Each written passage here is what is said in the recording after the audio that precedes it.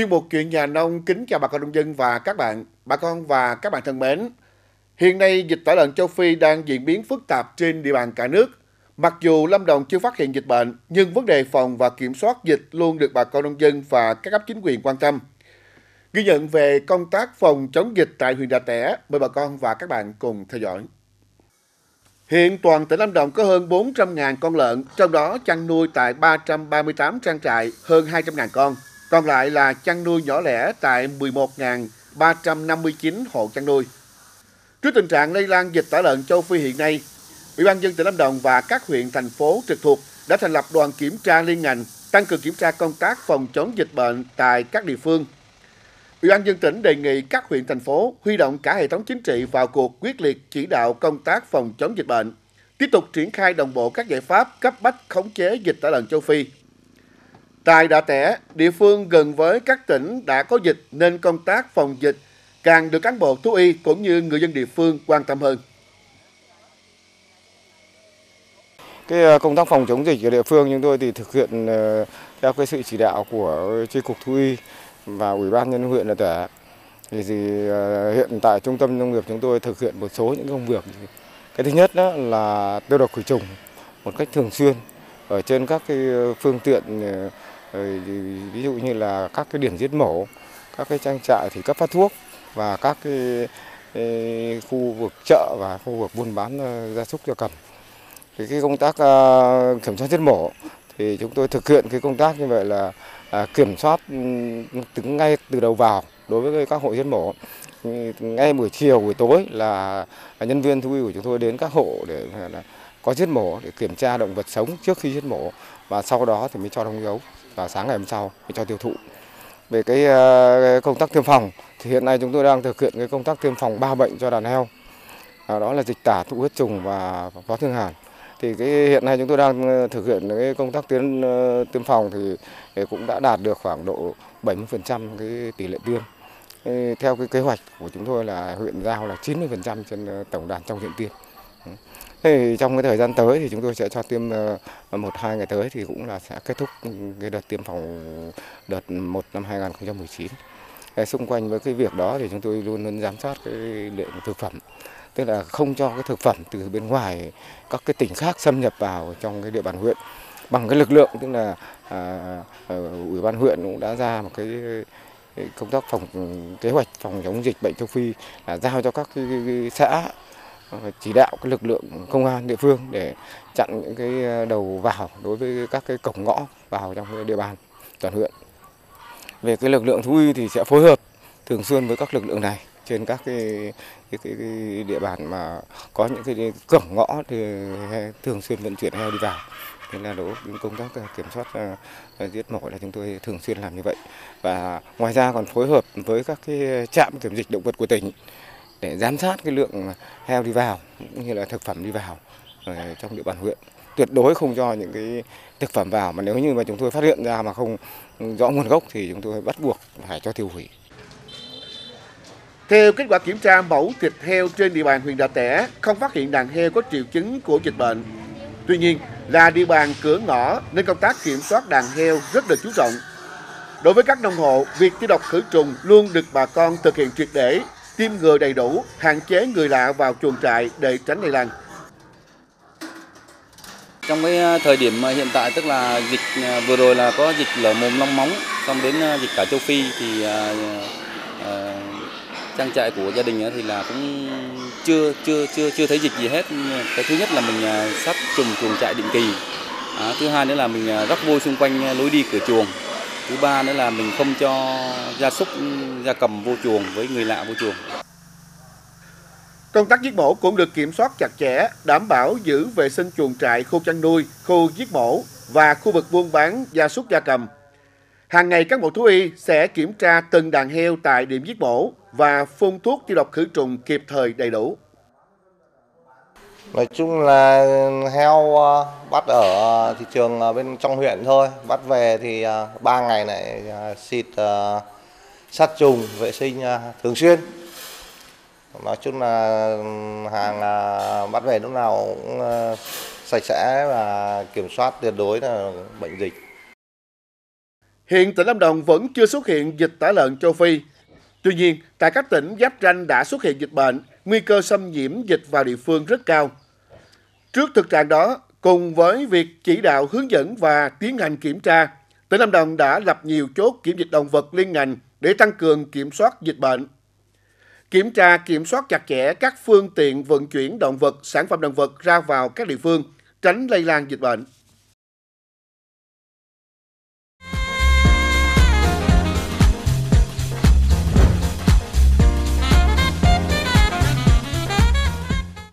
Dịch tả lợn châu Phi đang gây hoang mang cho người chăn nuôi cũng như người tiêu dùng. Vậy làm thế nào để có thể phòng chống được à, dịch tả lợn châu Phi và người tiêu dùng có à, nên hoang mang à, trước những thông tin thất thiệt về tình trạng dịch tả lợn châu Phi hay không? Chúng tôi đã có cuộc trao đổi với ông Phạm Phi Long, chi cục trưởng chi cục chăn nuôi thú y và nuôi trồng thủy sản để cùng tìm hiểu vấn đề này. À, vâng thưa ông, à, hiện nay thì à, dịch tả lợn châu Phi đang à, à hoàn thành ở các tỉnh phía Bắc và Lâm Đồng của chúng ta cũng à, đang à, tăng cường phòng chống dịch. Vậy thì đối với người dân cũng như là ngành thú y thì chúng ta làm thế nào để có thể phòng chống được dịch tả lợn châu Phi ạ?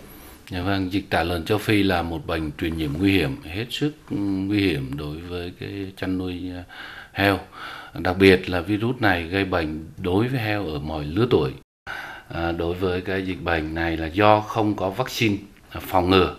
cũng như là điều trị. Do đó là chúng ta cần phải áp dụng các cái biện pháp ừ, an toàn sinh học đối với chăn nuôi. Cụ thể như là người chăn nuôi cần phải lựa chọn con giống rõ nguồn gốc rồi hạn trong quá trình chăn nuôi thì phải hạn chế cái việc à, à, tham quan của cái người lạ cũng như là thường xuyên khử trùng tiêu độc để để hạn chế cái mầm bệnh. Cái khử trùng tiêu độc thì là phải thực hiện à, hai đến ba lần trên tuần và đặc biệt các cái ờ, thuốc sát trùng nên sử dụng cái thuốc ờ, có cái phổ rộng để ờ, sát trùng được nhiều cái uh, virus vi khuẩn đồng thời. Song song với đó thì cái việc mà uh, khử trùng tiêu độc phải được dọn sạch cơ chất làm sạch cả cái trang thiết bị trước khi mình khử trùng để cái việc khử trùng có hiệu quả hơn. Chăn nuôi cũng phải uh, thực hiện uh, các cái biện pháp năm không thứ nhất đó là không giấu dịch. Khi có dịch phải khai báo ngay với cơ quan thú y địa phương để tổ chức kiểm tra và lấy mẫu xét nghiệm. Thứ hai à, là không mua bán vận chuyển các cái gia súc ốm gia súc mắc bệnh gia súc chết. Cái thứ ba là không giết mổ tiêu thụ các cái sản phẩm gia súc mắc bệnh và nghi là dịch tả châu phi.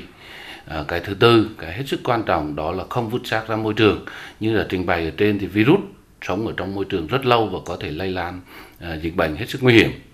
Và cái cuối cùng đó là không sử dụng các cái thức ăn thừa uh, của các cái trang trại bị bệnh hoặc là của các nhà hàng. Nên phải qua các cái khâu xử lý nhiệt mới đưa vào sử dụng cho cho cho cho chăn nuôi. Ngành thú y thì à, trước cái diễn biến tình hình dịch bệnh vậy thì cũng đã tăng cường cái công tác tuyên truyền đến với người dân tuyên truyền về tác hại về à, cách phòng chống dịch bệnh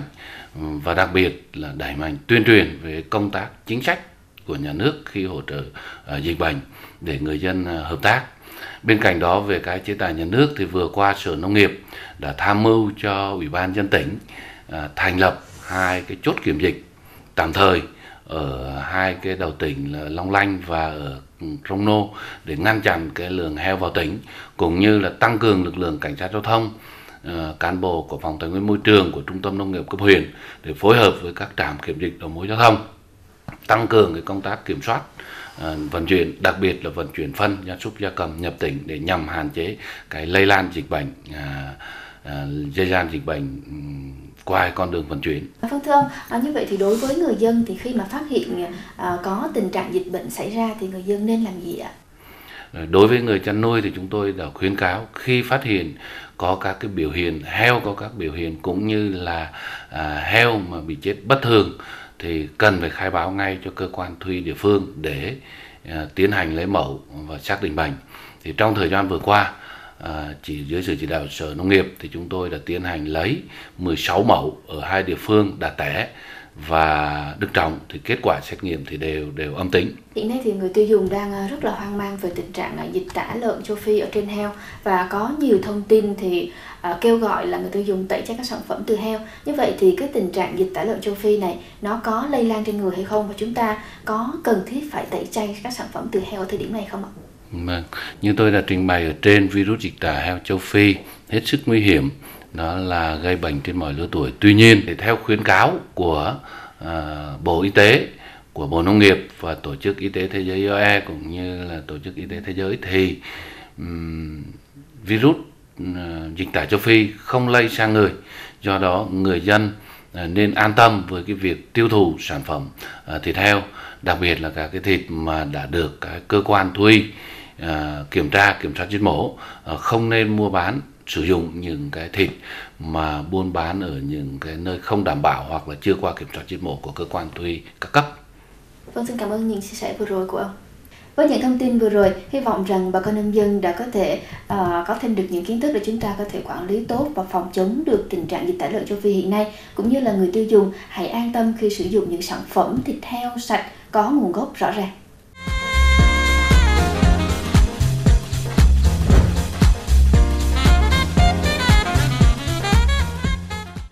Thưa bà con và các bạn, trong tình trạng dịch tả lợn châu Phi đang bùng phát, việc tăng sức đề kháng cho đàn vật nuôi là rất cần thiết.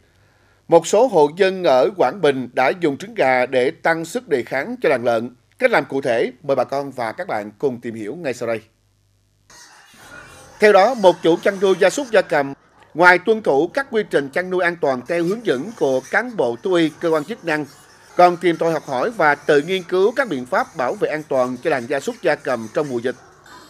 Một trong những biện pháp bảo vệ an toàn đàn lợn là bổ sung dinh dưỡng, các chất vitamin vừa tăng đề kháng, vừa thúc đàn lợn tăng trưởng nhanh. Cụ thể, hộ nông dân này sử dụng trứng gà pha trộn vào thức ăn công nghiệp, bổ sung thêm thức ăn tinh bột cho lợn. Trứng gà được sản xuất tại chỗ là lợi thế trong việc hạn chế chi phí đầu tư thức ăn trong quá trình xảy ra dịch tả lợn châu Phi. Cứ mỗi bữa ăn, bình quân mỗi con lợn được bổ sung một quả trứng gà. Với 200 con lợn nuôi, mỗi ngày cần khoảng 400 quả trứng gà. Giá trứng gà tại chỗ hiện nay khoảng 2.000 đồng một quả, ước chi phí mỗi ngày trên dưới 800.000 đồng. Theo các chuyên gia, trong 100 gram trứng gà có chứa 10,8 gram protein. Trung bình một quả trứng gà có 2,7 gram protein từ lòng đỏ và 3,6 gram protein từ lòng trắng. Nguồn đạm ở lòng trắng thường là các albumin và axit amin toàn diện có vai trò quan trọng trong việc bồi bổ, dinh dưỡng, tăng sức đề kháng cho vật nuôi. Bà con và các bạn thân mến, chuyên mục chuyện nhà nông kỳ này của Đài Phát thanh Truyền hình Lâm Đồng sẽ được khép lại tại đây. Cảm ơn bà con và các bạn đã quan tâm theo dõi. Thân ái tạm biệt.